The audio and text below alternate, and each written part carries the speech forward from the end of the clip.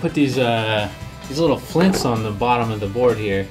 Uh, the brand name is called Tail Devil, and uh, that should do is when I pop a wheelie like this, should create some sparks.